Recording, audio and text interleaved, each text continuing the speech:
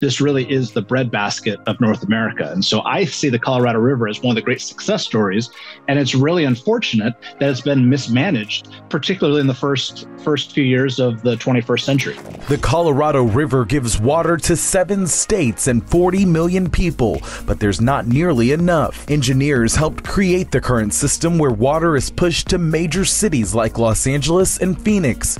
Can they help in this struggle between seven thirsty states? Even if you don't live in the Southwest, you have most definitely eaten produce and foodstuffs that came from that region. This is Adam Ratliff, also known online as Armchair Engineer for his love of civil engineering and explainer videos. Conserving water is the solution, but how we go about it is the tricky part because nobody wants to be the first one to give up their water rights. No one wants to be the first one to voluntarily take a cut at the risk of their neighbors saying, go right ahead, we're going to keep ours. We need more water storage. Del Shannon is a member of the American Society of Civil Engineers and the senior vice president for Schnabel Engineering's Dams and Levees Group. The reservoirs are infilling with sediments.